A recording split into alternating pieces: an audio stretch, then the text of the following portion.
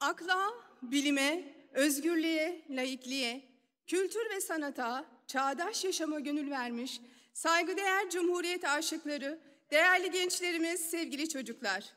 Stuttgart ve çevresi Atatürkçü Düşünce Derneği ile Çağdaş Yaşamı Destekleme Derneği Badin Württemberg adına her birinizi sevgi ve saygıyla selamlıyor. 99. Cumhuriyet Şenliğimize hoş geldiniz diyorum.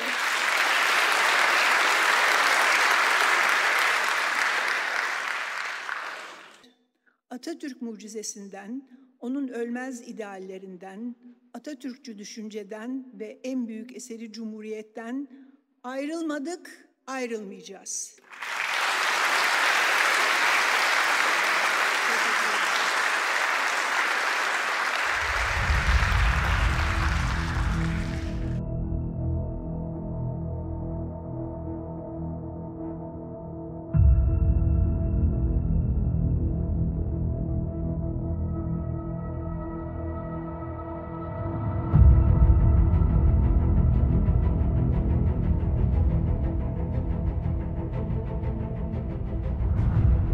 Ey Türk gençliği! Birinci vazifen Türk istiklalini, Türk Cumhuriyeti'ni ilelebet muhafaza ve müdafaa etmektir. Mevcudiyetinin ve istikbalinin yegane temeli budur. Bu temel senin en kıymetli hazinendir. İstikbalde dahi seni bu hazineden mahrum etmek isteyecek dahili ve harici betahtların olacaktır. Bir gün istiklal ve cumhuriyeti müdafaa mecburiyetine düşersen, vazifeye atılmak için içinde bulunacağın vaziyetin imkan ve şeraitini düşünmeyeceksin. Bu imkan ve şerait çok namüsait bir mahiyette tezahür edebilir. İstiklal ve cumhuriyetine kastedecek düşmanlar bütün dünyada emsali görülmemiş bir galibiyetin mümessili olabilirler. Cebren ve hileyle aziz vatanın bütün kaleleri zapt edilmiş, bütün tersanelerine girilmiş, bütün orduları dağıtılmış ve memleketin her köşesi bil fiil işgal edilmiş olabilir. Bütün bu şeraitten daha elim ve daha vahim olmak üzere memleketin dahilinde iktidara sahip olanlar gaflet ve delalet ve hatta hıyanet içinde bulunabilirler. Hatta bu iktidar sahipleri şahsi menfaatlerini müstevlilerin siyasi emelleriyle tevhid edebilirler. Millet fakr zaruret içinde harap ve bitap düşmüş olabilir. Ey Türk istikbalinin evlat! İşte bu ahval ve şerait içinde dahi vazifen Türk istiklal ve cumhuriyetini kurtarmaktır. Muhtaç olduğun kudret damarlarındaki asil kanda mevcuttur. Mustafa Kemal Atatürk 20 Ekim 1927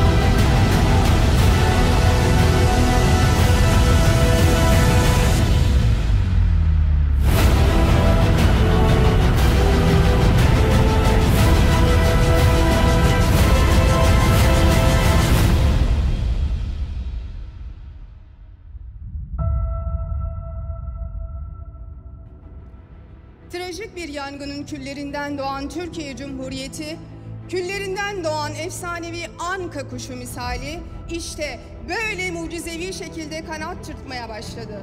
Cumhuriyetimizin 99. yıl dönümü tekrar ve tekrar kutlu ve mutlu olsun.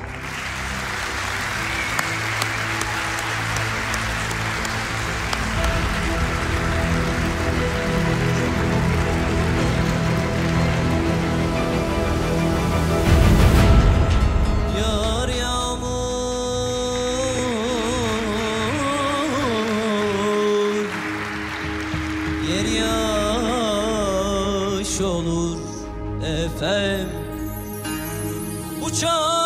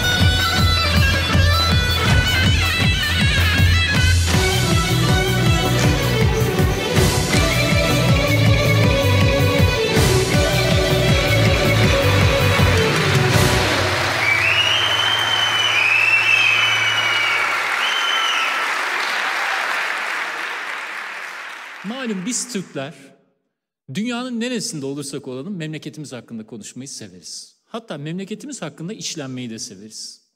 Bir gün Almanya'da bir barda bir tane Alman oturuyor. Bir bakıyor barda bir takım adamlar var. Başka bir dille konuşuyorlar. Yani bizim dilimizde konuşuyorlar Türkçe. Bir şey içiyorlar. Böyle üstüne su ekleyince beyazlaşıyor içtikleri şey. Garsonu çağırıyor diyor ki ya bunlar ne içiyorlar. Garson diyor ki onlar Türk rakı içiyorlar. Rakı diye bir içkileri var onu içiyorlar. Bana da bir tane getir diyor. Alman koyuyor suyu kafasına dikiyor. Of of ne olacak bu Almanya'nın hali diyor. Şimdi bizim ülkemizin böyle bir özelliği var. Nerede olursak olalım hikaye buraya doğru geliyor. O yüzden Cumhuriyet Bayramı belki adı bayram ama ben sizi çok böyle hani güzel bir kutlamanın ardından aslında biraz da içlendirmeye konuşması yapacağım. Şu açıdan Cumhuriyet Bayramı'nda bana hani bu fırsatı verdiğiniz için teşekkür ederim. Hem Atatürkçü Düşünce Derneği'ne hem ÇYDD'ye. Burada da içlenme fırsatı verdiğiniz için teşekkür ederim. Çünkü öyle bir günde verdiniz ki Cumhuriyet demek, Cumhuriyet demek bir kadın devrimi demek. En önde kadınlar oturduğu için önce oradan başlıyorum. Cumhuriyet demek bir dil devrimi demek. Cumhuriyet devrimi demek, bunu niye başlıyorum? Kültür devrimi demek. İktidarın biliyorsunuz en, en başındaki isim kültür ve dil devrimlerine karşı olduğunu açıkça söyledi. Cumhuriyet demek anayasal hukuk devleti demek. Devrim demek bu açıdan. Türkiye bir daha geri döndürülemez bir şekilde anayasanın ilga edilmeyeceği bir düzen haline geldi. Cumhuriyet devrimi demek tam bağımsızlık devrimi demek. Cumhuriyet devrimi demek laiklik devrimi, aydınlanma devrimi demek. İşte bunları niye hatırlatıyorum? Bunları şu yüzden hatırlatıyorum. Bana sorarsanız Atatürk'ün iki tane düşmanı var. Biri karşısında. Onlar çok net. Kimi dini kendisine alet ederek, kimi etnik kimlikleri kendisine alet ederek, kimi emperyal devletlerin çıkarlarına alet ederek Atatürk'ü zaten karşıdan vuruyorlar. İkinci bir düşmanı var Atatürk'ün. Onu sanki bir devrimci olduğunu unutarak, demin söylediğim devrimleri yaptığını unutturarak, onu sanki böyle bir eski vazoymuş gibi, eski bir halıymış gibi, eski bir resimmiş gibi duvara asan, sonra da onun yaptığı devrimleri unutturanlar. İşte ben o iki düşmana da karşıyım. Bunu neden hatırlatıyorum? Şu yüzden hatırlatıyorum. Bugün eminim hepinizin Facebook'u vardır, Twitter'ı vardır, Instagram vardır. Girdiğinizde ben onu hissettim. En çok gördüğüm şeyler üzerine düşündüm. Bir Atatürk fotoğrafı ve üstünde şu yazıyor. Cumhuriyet fazilettir. Doğru. Atatürk'ün sözü. Cumhuriyet fazilettir. Ama fazilet bir ahlaki değer ya. Ahlaki değer içgüdü dahi olsa bir maddi temeli vardır. O sözün tamamı şudur size okuyacağım. Cumhuriyet ahlaki fazilete dayanan bir idaredir. Asıl mesele buradan sonra başlıyor. Cumhuriyet fazilettir. Sultanlık korku ve tehdite dayanan bir idaredir. Cumhuriyet idaresi faziletli ve namuslu insanlar yetiştirir. Sultanlık korkuya, tehdide dayandığı için korkak, alçak, sefil, rezil insanlar yetiştirir. İşte o cumhuriyet fazilettir sözü Atatürk'ün sultanlık rejimine karşı söylediği bir sözdür. Çünkü fazilettir sultanlık rejimi ancak sarayların üzerinde, ancak zorbalığın üzerinde, ancak milletin egemenliğini gasp ettiği bir iktidar üzerinde oturduğu için insanları korkutur. Ve o korku kişiliği insanın ruhunu, bedenini esir alır, zihnini esir alır, onu ahlaksızlaştırır. İşte Atatürk bu yüzden Cumhuriyet fazilettir demiş.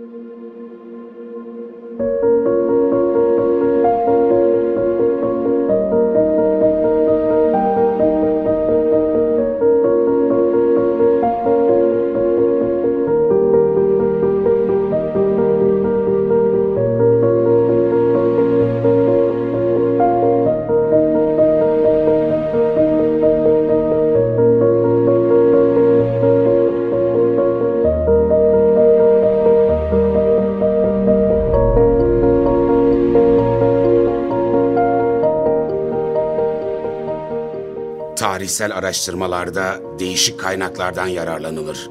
Yapılar, eşyalar, giysiler, etnografik materyaller, haritalar, resimler, fotoğraflar ve bunun gibi kaynaklar eğilip bükülmeden tarihsel veriler ışığında bilimsel nesnel yorumlarla ele alındığında tarih bilimi içinde bir değer taşır. Önemli tarih kaynaklarından biri de özellikle 1700'lü yıllardan bu yana karikatürdür. Önce tek karikatürlük litografik baskılar, sonra gazetelerde yer alan karikatürler ve son olarak da yalnızca karikatürlerden oluşan mizah dergileri. Karikatür sanatçısı Kürşat Coşkun'un uzun yıllara dayanan araştırmalarıyla hazırlanan İmparatorluktan Cumhuriyete bir başkalaşım öyküsü, üst başlığı ve Metamorfoz adıyla yurt içi ve yurt dışında sergilenmek üzere kronolojik sıraya sokulmuş ve açıklamaları yapılmış bu karikatürlerin zaman dilimi, öteden beri batıda hasta adam diye nitelenen Osmanlı İmparatorluğu'nun çöküş sürecini 1915-1919, yüzyılın ilk ve en büyük olduğu kadar en haklı ve halklı Ulusal Kurtuluş Savaşı'nı 1919-1922 ve Anadolu Aydınlanma Devriminin gerçekleştiği erken Cumhuriyet dönemini 1923-1939 kapsamaktadır. Bu dönem aynı zamanda Birinci Dünya Savaşı'nın başlangıcından İkinci Dünya Savaşı'nın başlangıcına kadar geçen süreye denk gelmektedir.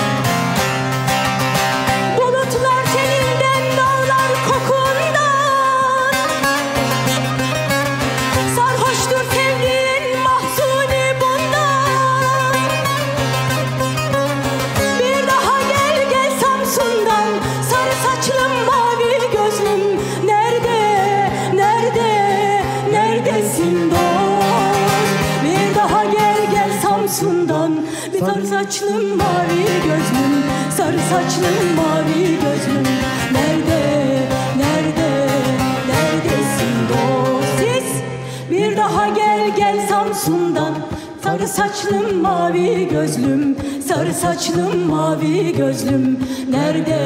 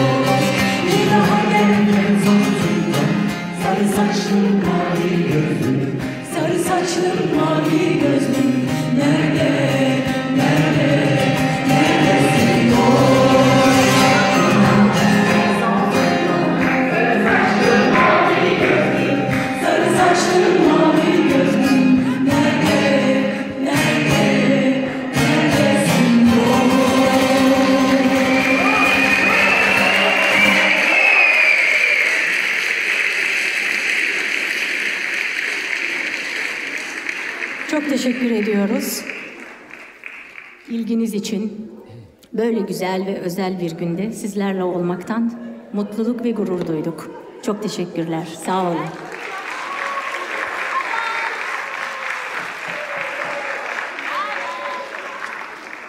Değerli sanatçımız Ümmiye Ünal ve Akın Demircioğlu'na sonsuz teşekkürler. Marşlara hazır.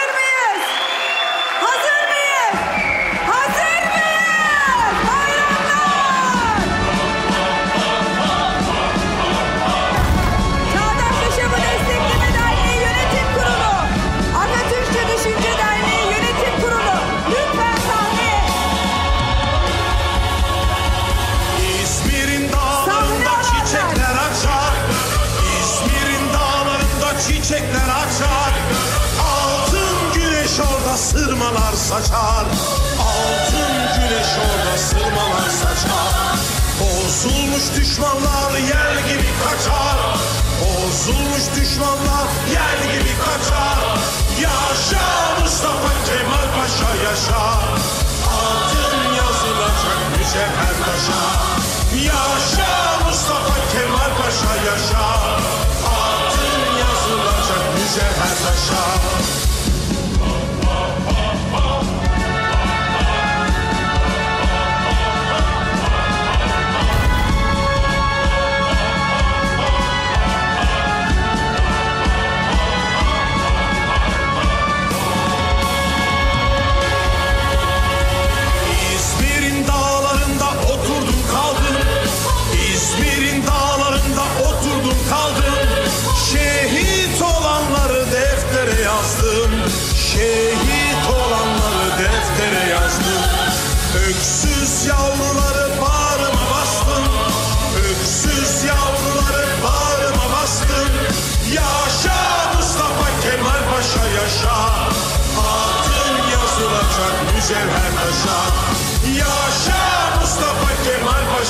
taşa Adın yazılacak mücevher taşa.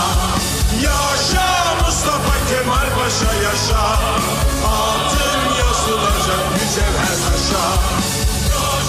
Milli mücadeleye destek olmak için canı pahasına savaşan Karakol Cemiyeti'nden Yeni Bahçeli Şükrü'ye, Hamza grubundan Yüzbaşı Seyfettin'e, Mim Mim grubundan Top Kapılı Mehmet Canbaz'a selam olsun. İmalatı Harbi